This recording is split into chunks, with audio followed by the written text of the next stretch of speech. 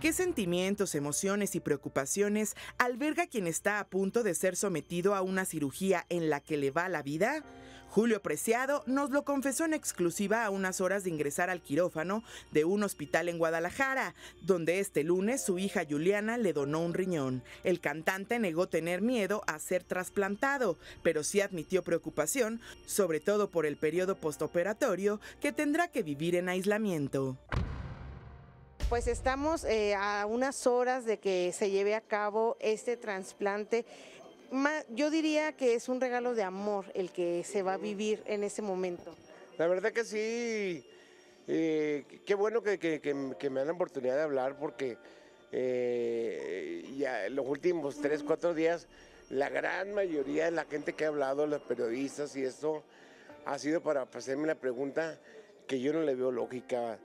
¿Tiene miedo? La verdad que si tuviera miedo no me hubiera dado ese paso no, no, no lo hubiera dado, la verdad. Al contrario, creo que estoy bien convencido de lo que, de lo que estoy haciendo. Creo que tengo eh, una, la más grande prueba de amor que puede tener un padre, que es el amor de su hija. Eh, y la verdad que me siento bien contento, la verdad. Sí tengo temor, temor, pero al postoperatorio, a, los, a, la, a la cuarentena que viene después de, del trasplante, que no sé cómo vaya a reaccionar a los 40 días que hay que estar aislado. Porque para mí, que soy una persona hiperactiva, que soy una persona que, pues, que, no me aguanto, que ando para arriba y para abajo, va a, ser, va, a ser, va a ser difícil, ¿no? Creo que cuando viene ya la etapa de la serenidad, de pedirle a Dios que me dé la paciencia, de, voy a tener que eh, comprar unos dos, dos o tres buenos libros, sí, acabarme todas las series sabías de por haber de la televisión, Sí, y la verdad que, creo que es lo, más, es lo, es lo que más me tiene eh, pues temeroso. En sí la operación no. Me tiene temeroso el post. Lo que va a pasar en esos 30 o 40 días. ¿Cuál va a ser la, reacción de mi cuerpo? Jueves que hicimos eh, más una comida para despedirme de mi familia, de mis amigos, de todos despedirme en el sentido de que van a durar dos meses sin verme, ¿no? Además tocamos, tocamos madera. De ahí, hicimos una misa, hicimos una misa, este, y si el padre, el, padre Concho hablaba de eso precisamente, ¿no? De tener fe, tener fe.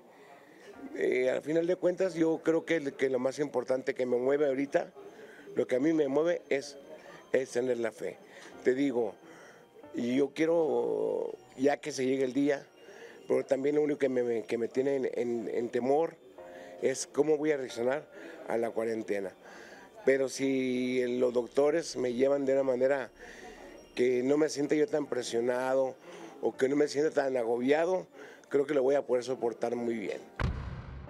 Julio reveló que los últimos días habían sido muy difíciles para él debido a las hemodiálisis el hecho de pensar, don Julio, que esos 40 días son la posibilidad de no estar en una vida conectada a una máquina, creo que si usted pone ese pensamiento, las cosas van a ser mucho más llevaderas. Claro, claro, es que, es que también ya para mí era muy difícil. El último mes ha sido muy difícil ya para convivir con, con, hemodiálisis. Es muy, muy, muy difícil. Ya empecé a salir en silla de ruedas, empezaban a sacar ya con presiones de eh, abajo de 100, siento que normal son 120, 120 sobre 80, me estaban bajando ya a 100 sobre 60, a 98 sobre 57, o sea, ya mi presión ya no me da, ya no me da, entonces yo si no me operaba, creo que ya no iba a poder seguir soportando hemodiálisis. También reveló que tanto su hija como él se sometieron a terapia psicológica. Ambos estuvimos en terapia, los dos estuvimos en terapia psicológica y estuvimos también, yo estuve en lo personal con seis personas trasplantadas que me compartieron sus experiencias. Perdón, uno de ellos me enseñó sus fotos de antes y después.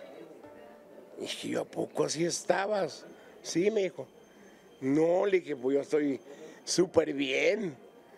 Y vete ahora, le digo, no, la verdad, mi y personas que tienen apenas seis meses, cuatro meses, hay una, uno que llegó que tenía apenas tres meses trasplantado y se ven súper bien, súper bien. Así que la terapia es tanto psicológica como el compartir experiencias con la gente, eh, creo que el- es lo que te da más fuerzas. Y se despidió agradeciendo las oraciones de su familia, amigos y público en general. Muchas gracias a toda la gente que están haciendo cadena de oración de todo, de todo, desde, desde Argentina hasta Canadá, la verdad, muchísimas gracias. Gente que no tengo el gusto de conocerla personalmente y que se suman en una oración para Julio Preciado. La verdad que vale la pena eh, a ver, sembrar tanto cariño a través de una carrera como la música, la verdad. Y pues no me quiero despedir, la verdad no me quisiera despedir, sino decirles, nos vemos muy pronto y espero en Dios que me vean ya eh, totalmente recuperado. Con la bendición de Dios, muchísimas gracias.